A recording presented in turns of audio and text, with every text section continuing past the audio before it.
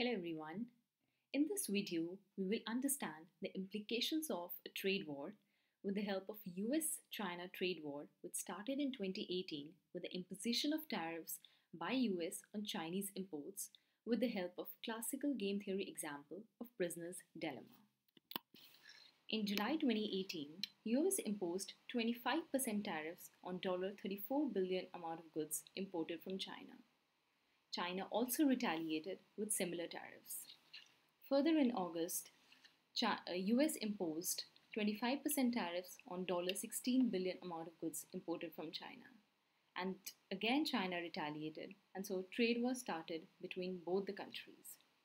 Now, think for a moment. If you have two options, either to go for protectionist policies, as US and China did, that is, impose tariffs on the products imported, or, or, should a, or should a country opt for free trade? What will you do? Let's see this. We know a GDP is composed of four components consumption, investment, government spending, and net exports. Now, if imports rise, more profits are sent abroad, and there's a decline in GDP. So, with this, we see that a country should adopt for trade protectionism. But now let's understand this with game theory. What will be the implications of free trade and tariff? So firstly, let's find out the Nash equilibrium of this game. If US thinks that China will go for free trade, then the best option for US is to impose for tariffs. But if, if it thinks that China will go for tariffs, then the US again should put tariffs. So we see the optimal choice for US is to impose tariffs. Now let's find out what is the optimal choice for China. If China thinks that US will go for free trade, then China should go for imposing tariffs. And if China thinks that US will go for tariffs, then again China should go for tariffs. So we see that the Nash equilibrium of the game is imposition of tariffs by both the countries, that is US and China.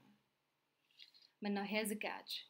We see that if both the countries adopt tariffs, they are on a suboptimal equilibrium. They could have earned much more if they opted for free trade.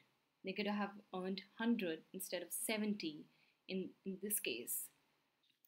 But if both the countries impose tariffs, the result is dramatic decline in welfare and global GDP. This was exactly observed in the US-China trade war, where it had both direct effects like impact on supply chains, global GDP, purchasing managers index which lowered quite a bit and uh, indirect effects like consumer confidence and uh, the uncertainty among businesses um, about their investment and products around the world. Both the countries could have done better by coordinating.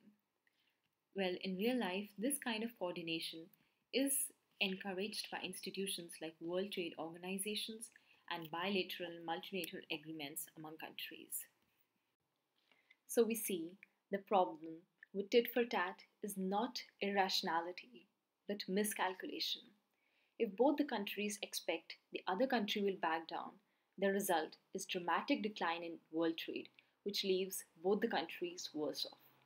This is exactly what US and China faced. So that's all in this video. If you have any comments, thoughts, any suggestions, please put it in the comment box below. Thanks for watching.